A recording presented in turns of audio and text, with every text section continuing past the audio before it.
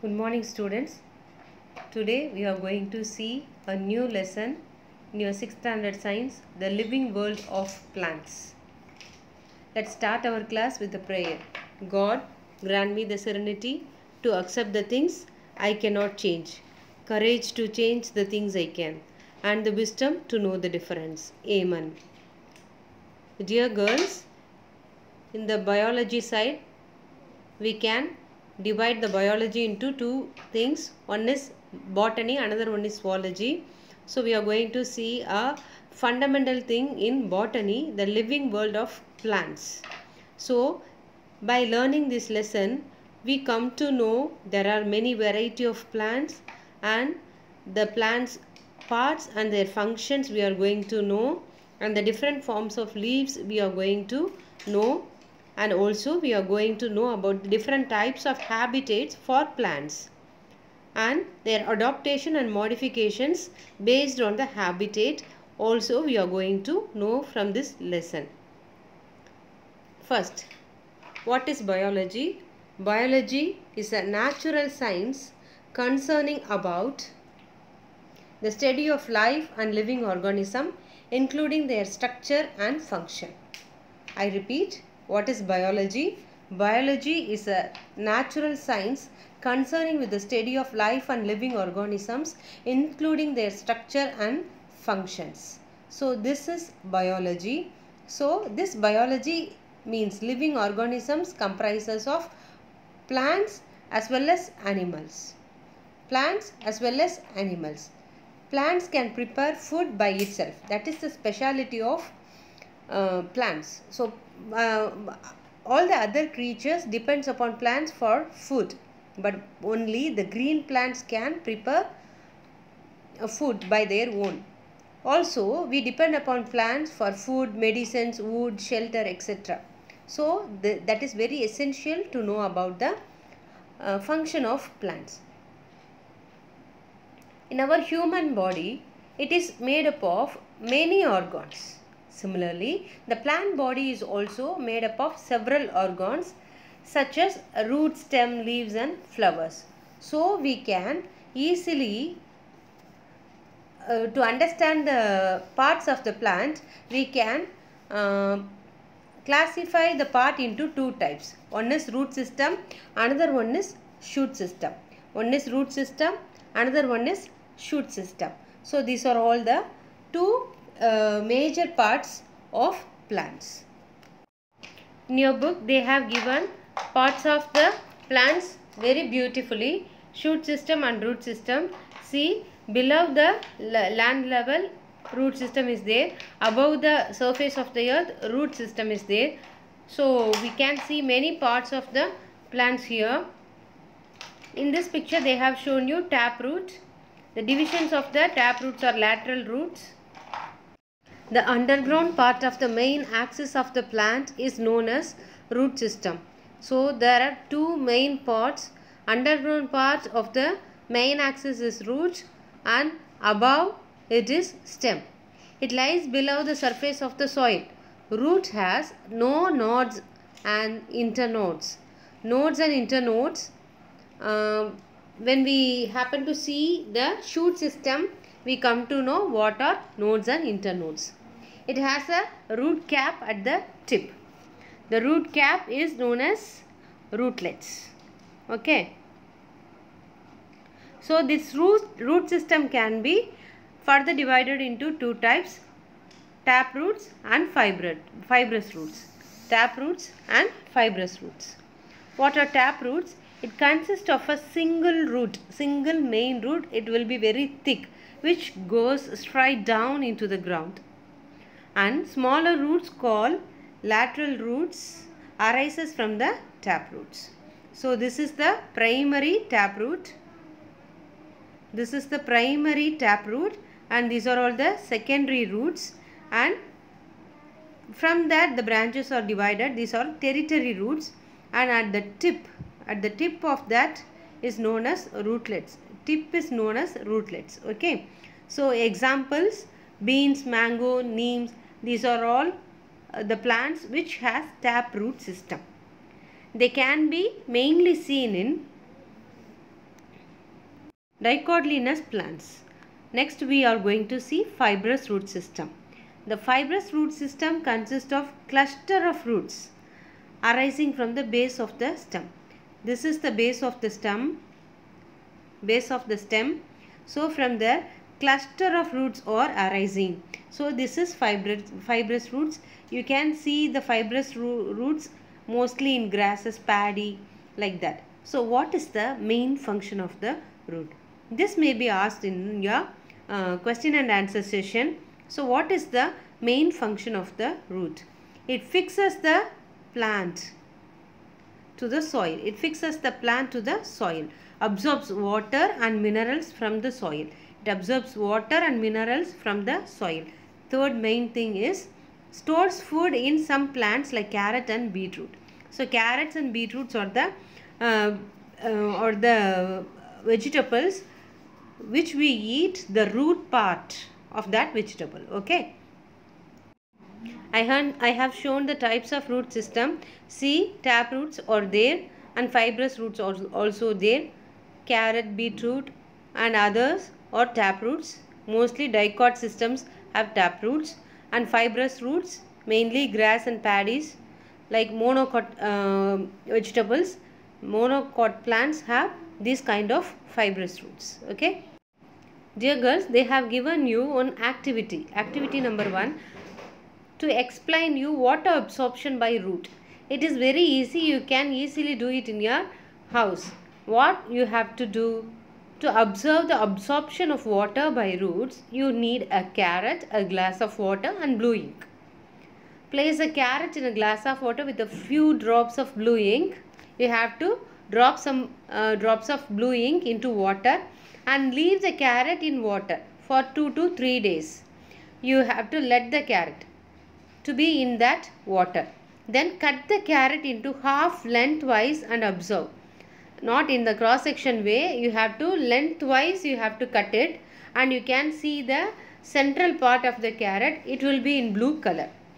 Blue color appears in carrot which indicates water moves upward in carrot showing that root conducts water. So this activity you can easily do it at your home. If any one of you tried means you can send that video to me. Next we are going to see about shoot system. The aerial part of the plant body above the ground is known as the shoot system. Main axis of the shoot system is called the stem. The shoot system consists of stem, leaves, flowers and fruits. Stem grows above the soil and it gives towards the and grows towards the sun. It has nodes and internodes. See in your picture you can see the node. This is a node and this is a node. Okay. What is a node? Nodes are the parts of stem where the leaf arises. See, here is the leaf. This is the place where this leaf is arrives. So, this is the part node. This part is called as node. Okay. Again, this part is called as node. The in-between part between the consecutive node is known as internode. The part of the stem between two successive nodes is called internode. The bud at the tip of the stem is known as apical or terminal bud. So, uh, at the tip of the stem means it is apical or terminal bud and the bud at the axil or uh, axils of the leaves are called as axillary bud. Here they have shown you this bud is axillary bud, axillary bud. Okay. See this bud apical bud or terminal bud. This bud is known as apical bud or terminal bud at the tip of the plant. Okay, here at the tip of the plant, apical bud or terminal bud. Okay, in the uh, in the picture given in your book is axillary bud. Okay. Next we are going to see the function of the stem. The stem supports the branches and leaves, flowers and fruits. So that, that, that is the first and foremost thing. It supports the branches, leaves, flowers and fruits. Secondly, transports waters and minerals from roots to upper aerial plant parts. So it transfers the minerals and waters from the root to the other parts of the plant. Transports the prepared food from the leaves to other parts through stem. So it transfers the food prepared by the leaves of the plant to the other part of the stem. Store, stores food as in the case of sugar cane. Sometimes the stems can also be act as a food like sugar cane. So for these things you have to um, uh, be clear with what is the function of a tree. Mostly the food is prepared by the green leaves. So the uh, food producers in a plant is leaf. So the food is produced in the leaf. If the food is stored in the leaf itself, there is no use for the plant. So it must be transferred to the other parts uh, from the tip of the plant to the bottom, the root of the plant. So that duty is done by the stem. Also, uh, which part is uh, responsible to uh, suck the water or minerals from the sand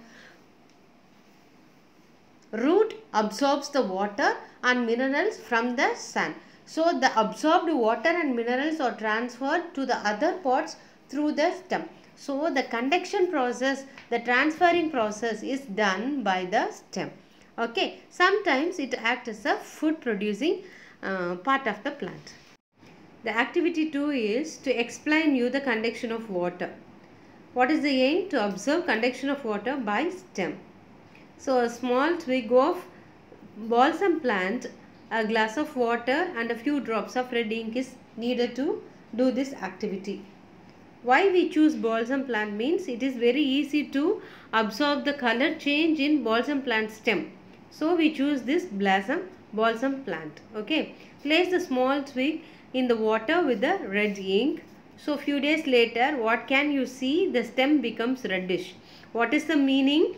This is because the red colored water is being taken by the stem upwards. So that is the uh, idea which they want to convey through this activity. Next we need to see the structure of leaf. The leaf is a green flat expanded structure on the stem at the node. So it will be at the node side. So this is the node part. It, it starts from the node side. A leaf has a stalk called petiole. Petiole. This is the petiole. இலை காம்புன்னு சொல்லுவோம்ல petiole. The flat portion of the leaf is called leaf lamina or leaf blade. This is leaf blade or leaf lamina. Flat portion of the leaf. Okay. On the lamina, there, are, there is a main vein called midrib. So, which is the midrib? This is the main vein. So, this is midrib. Other veins are branched out from the midrib. So, these are all the remaining veins. So, these are all the remaining veins. Also, we can see in few leaves small netted veins here inside. Small netted veins. Can you see? Yes. So this is the main. Then the portion of the leaf connected in the nodal region of the stem is known as leaf, leaf base. This is leaf base. This is leaf base. The portion which is connected to the nodal part is known as leaf base. Leaves of some plants possess a part of lateral outgrowth on the base on either side of the axillary bud. These are all called stipules. So this is stipule. Can you see the stipule? Yes, this is stipule. Okay. The green color of the leaf is due to the presence of green color pigment called chlorophyll. So, this green color is obtained from the pigment known as chlorophyll which is responsible for the green color. Okay. Uh, the flowers and vegetables or fruits have different colors red yellow. So that is called as chromophylls this green colored pigment is known as chlorophyll. That uh, pigments have different name. Their common name is chromophylls okay. On the lower side of the leaf there are tiny pores or openings known as stomata. You cannot see the stomata it is a tiny pores, invisible pores, openings known as stomata. Okay, that's up to uh, up to this. It is enough for you. Now we shall see the function of the leaves. The green leaves prepare food by the process called photosynthesis. So the photosynthesis is the process by which the leaves prepare food with the help of sunlight and carbon dioxide is known as photosynthesis. Helps in respiration.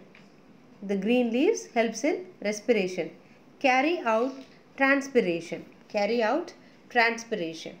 So these are all the functions of leaf.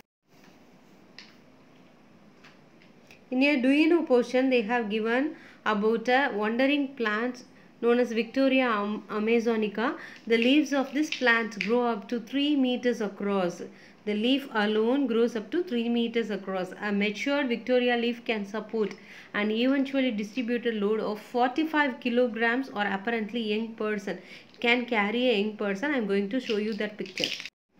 Can you see the leaf? Two children are sitting on this Victoria amazonica. Yes. One man is standing on this Victoria amazonica leaf. It is a leaf. Okay. So how will be at the back side? The back side of this plant will be like this. Uh, not plant. The back side of the leaf will be of this form. Okay. So these are all the interesting things about this Victoria amazonica. Thing to learn. How do we classify the plants? We can classify the plants into two type by two types. First one is based on flowers. Plants can be classified into two main groups, flowering plants and non-flowering plants. Flowering plans பூக்கும் தாவரங்கள் நான் flowering plans பூவாத தாவரங்கள் பூ பூக்காத தாவரங்கள் okay next based on position of seat we can classify plants into two groups one is angiosperm another one is gymnosperm mango uh, mangoes all the fruit bearing plants which we are seeing in our uh, side is angiosperm. Gymnosperm example pine. Pine is a very good example for gymnosperm um, plant. தமிழில் எப்படி? ஆஞ்சியோஸ்போம்னா மூடிய விதை தாவரங்கள் ஜிம்னோஸ்போம்னா திறந்த விதை தாவரங்கள். விதை வந்து ஃப்ரூட்ஸ்னால பாதுகாக்கப்பட்டு இருந்துச்சு அப்படின்னா உள்ள நடுவில் வெளியில் தெரியாமல் இருந்தால் ஆஞ்சியோஸ்போம் ஜிம்னோஸ்போம்னா வெளியில் தெரிஞ்சா விதைகள் வெளியே தெரிஞ்சால் அது ஜிம்னோஸ்போம் தாவரங்கள். Next we are go entering into very very important thing habitat before we enter into the habitat in activity 4 they have given you the story. What is the very much important uh, thing um, in nature that we have to respect about and uh, we least bother about? Actually we are least bother about but we should respect it the habitat of the plants and the animals. So we are going to see the habitats each and every organism needs a place to live and reproduce. Such a dwelling place is called habitat. So, from the depth of the ocean to the top of the highest mountain, habitats or places where plants, animals live. Even the very coldest place, Antarctica, we can see animals and plants uh, live there. Okay, so it is very much essential to respect the habitat of animals and plants. We should not overuse their habitats. That is the moral given from the previous story. Okay, let's see the different types of habitat in this lesson. So, basically we can classify the habitats of plants into two major types. One is aquatic habitat, another one is terrestrial habitat. One is aquatic habitat, another one is terrestrial habitat. So, what is aquatic habitat? There are a lot of space in earth filled with water. Mostly, uh, three fourth of the earth part is filled with water. Some region on the earth are completely permanently covered by water and some are uh, occasionally covered by water. So depends upon them we can classify this aquatic habitat into two types. One is freshwater habitat, another one is marine water habitat. Freshwater habitats, uh, rivers, lakes, etc. includes them. And mar- marine water means sea, ocean. These are all the marine water habitats. First we shall see freshwater habitat Rivers, lakes, ponds and pools are the freshwater habitat. water hyacinth uh, what is that இந்த ஆகாய தாமரைன்னு சொல்லல அது water lily and lotus are seen in the freshwater habitat so what are the special features of those plants their roots are very much reduced in size so this is the first point roots are very much reduced in size stems and leaves have air chambers காற்றறைகள்னு சொல்லுவோம் so that these aquatic plants can float on the water. So these are all the two important features of freshwater habitat. Next we, we can see the marine water habitat. Now from outer space of the earth it looks like a blue planet. Uh, actually it is called as a blue marble. It seems like a blue blue marble from the space. So uh, why? Because it's covered with 70 percentage by ocean so oceans also support the growth of the plants. Marine plants perform about 40 percentage of photosynthesis that occurs on the plant. So photo due to photosynthesis only we can get oxygen what we what we inhale. So that 40 percentage of oxygen or photosynthesis process occurs uh, by this marine plants. Okay marine alga sea grasses marsh grass. These are all the example for marine water habitat plants. Next the second division terrestrial habitat. Terrestrial habitats are the one that are found on land like forest grassland and desert. It also includes man-made habitats like farms towns and cities. They can be as big as continent or as small as the island they make up about 28 percentage of the entire world habitat. So we can differentiate we can we can classify this terrestrial habitat into three types. What are they? Desert grassland and forest. We can classify uh, the terrestrial habits further into three types desert grassland and forest. What is a desert habitat? A habitat without much water is called desert you uh, you you may come across the word desert and you may know what the climatic situation condition will be in the desert. There is no water there is no rainfall completely uh, sun burning sun. In the daytime it is very hot in the night time it is very cold. This that was that is what happening in the desert. That is the climate of the desert. So um, the desert can get fewer than 25 centimeter of rainfall annually per year less than 25 centimeter rainfall only available in the desert region. So it is very difficult to survive there in the desert place. Even then there are possibility for few plants which grow in these habitats. So uh, to grow in these habitats uh, the trees must have some the plants must have some basic features special qualities then only they can survive there what are they? Uh, they have thick leaf that store water and minerals. They have thick leaves they store water and minerals. The plant like cactus store water in their stem. They store water in their stem and the leaves are reduced to spines. The leaves are reduced to spines.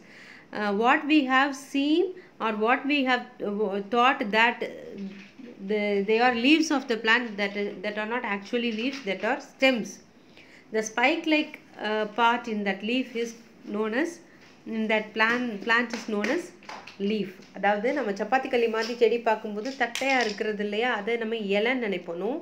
அது stem அதில் ஷார்ப்பாக spikes மாதிரி இருக்கு இல்லையா? அதுதான் leaf leaf are modified into spines and stems are modified into leaves okay? Uh, they have a very long root which go very deep in the soil in search of water. So these are all the three main things. First thing thick leaves that store water and minerals. Uh, they store water in their stems and the leaves are reduced to spines. They have a long root which go deeper inside the soil to search of water there are four types of deserts hot dry desert semi arid semi desert coastal desert cold desert so example for the plants growing there cactus agave aloe bryophyllum are the examples for them okay See this picture. This shows the special features of a desert plant. Okay, small surface area minimizes evaporation. So evaporation is a big challenge which the plants in the desert uh, faces. So to minimize the evaporation, the surface of the plant is minimizes. Then spines instead of leaves. So we can see spines, the sharp points. The sharp points or spines. So it don't have leaf. The leaves are converted into spines. Okay. Then stems that can store water. These are stems. These are stems. We thought, usually we thought these are all leaves. No, these are all stems. So it can store water. Widespread root system. The root system is widespread. So it can search water in the deep of the soil. So next we have to see grassland habitat. This is tropical grassland. In your book they have given savanna grassland which is in Africa as an example for grassland habitat. So see lots of animals, widely spread animals are seen in this grassland habitats. Uh, African forest mostly this grassland habitat only. So we can see giraffe, zebra, lion etc. in grassland habitat. What about the plants habitat? most of the uh, plants grown there are uh, this grass only these grasses ranges from short to tall uh, short grasses also there tall grasses also there so this is all about the grassland habitat next we have to see about forest habitat forest is a large area uh, dominated by trees there are three types of forest tropical forest, temperate forest and mountain forest. Annual rainfall ranges from 25 to 200 centimeter. So there is a possibility for wide range of wide variety of plants and trees in the forest habitat. Okay. Next we enter into a new section plant adaptation and modification. Adaptations are special features in plants which help them to survive in the habitats they live in over a long period. Plants in a specific environment have developed special features which help them to grow and live in that particular habitat. So in this chapter, let us study some adaptation like tendril and twin, uh, twinners and thorns. These adaptations are seen in plants which live in terrestrial and ter de desert habitat. The first one is tendril um, climber. The tendril is a twinning climbing organ of some weak stemmed plant like peas and bitter gourd. Tendril coins round a support and help the plant to climb.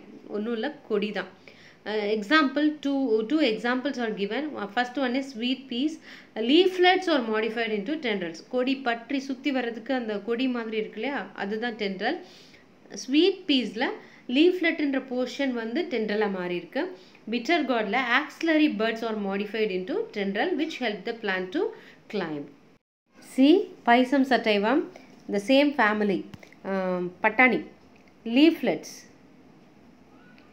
leaflet, leaflets. These are all the leaflets. So the leaflets are modified as tendril. இங்கெல்லாம் leaf வந்திருக்கா?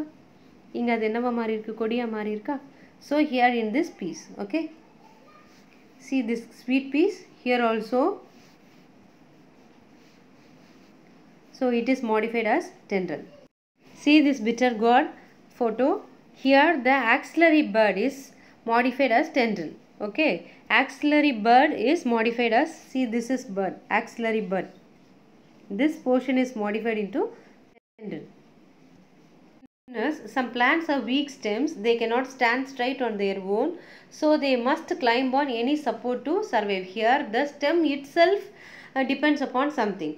Uh, in tendril climbers uh, the tendril helps to climb. Here the stem itself twin uh, twin itself to climb on any support plant or wall etc so clitoria sangupu that picture is shown in your um, book clitoria jasmine or examples for these twinners next thorns leaves of some plants become wholly or partially modified into sharp point structured called thorn or spines Examples agave, the leaf apex. See the first picture agave. Apex and margins at the edges modified into thorns. And opuntia, the leaves are modified into spines. The leaves, see the second picture, leaf itself modified into spines. லீஃபாக முள்ள மாறிடும். சப்பாத்தி கல்லி. நான் சொன்னேன் சொன்னேன் இல்லையா அது. அடுத்தது புகன் புகன்வில்லியா. இந்த stem has a short thorn புகன் வேறு ஒன்றும் கிடையாது. உங்கள் காகிதப்பூன்னு சொல்லுவோம்ல அது.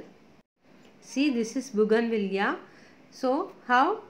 See the sharp edges. முள்ளு முள்ளா இருக்கு பாருங்க. Okay? The stem has sharp roots so up to this i complete the lesson. So i complete the fourth lesson completely. So your part is to learn the book back exercise using your guide. I hope you all understand the lesson taught by lesson taught by me. Wish you all the best. God bless you. Thank you